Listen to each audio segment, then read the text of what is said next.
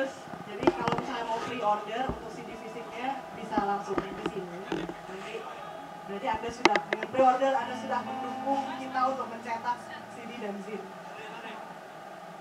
iya.